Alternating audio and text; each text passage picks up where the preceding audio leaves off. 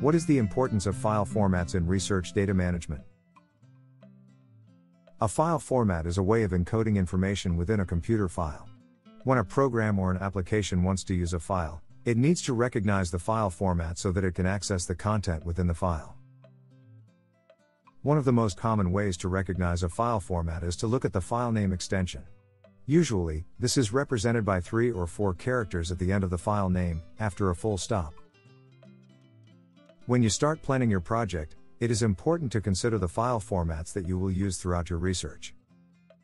Sometimes, the choice of a format is influenced by norms within your research discipline, for instance, by commonly used software programs or file formats that you and your colleagues have used in the past. Or, the choice might also depend on the type of hardware or instrument you will use. In other situations, choosing a specific format might limit the possibility to collaborate with other scientists who don't have access to the same software tools. And last but not least, certain file formats are less future proof than others. We often refer to this problem as file format obsolescence, and there are several reasons for this to happen. For example, sometimes older versions of a file format are no longer supported by newer versions of the software. Or, the software supporting the format is no longer available or cannot be used in newer operating systems.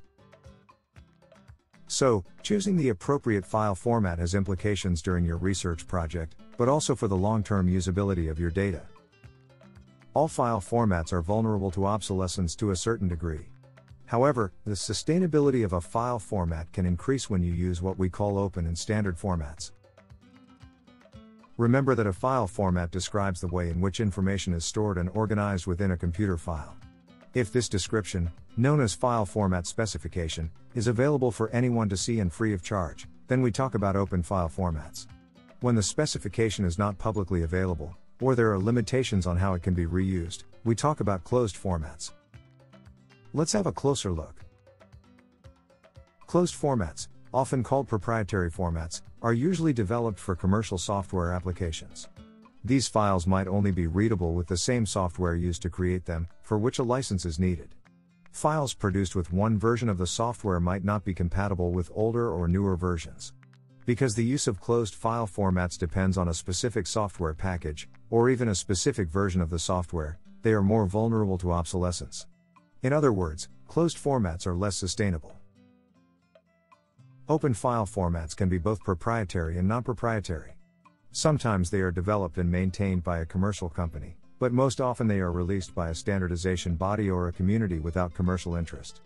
In any case, the file format specifications are open, which means that anyone could potentially develop software packages or applications that can use these formats, maximizing the interoperability and reuse of information they contain. Besides, compatibility with older versions of the format is a priority, making these types of formats less subject to obsolescence issues.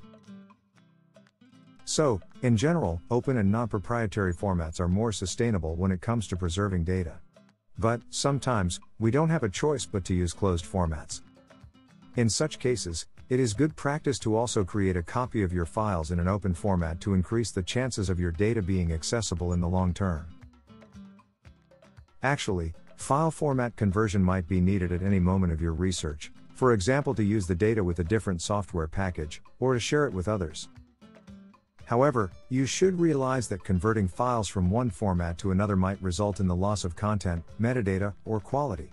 Before you migrate files to another format, it is important to be aware of the risks and to test what can go wrong. It is also good practice to keep the original files, so you can always return to them and repair any errors or changes in your data if something goes wrong during file conversion. When choosing a file format, it might also be important to check what kind of compression is used. Compression is the process of encoding information using fewer bits than the original representation. There are two types of compression. Lossless compression allows the original data to be perfectly reconstructed from the compressed data. When a file is compressed using this method, uncompressing it again results in a file that is identical to the original file. But there are also lossy types of compression, where some of the content is lost. Before performing a lossy compression, it is advisable to do some research to understand what compression parameters should be used. The objective should be to retain the critical information needed to make your files reusable. As you can see, there are a few things to consider when it comes to file formats.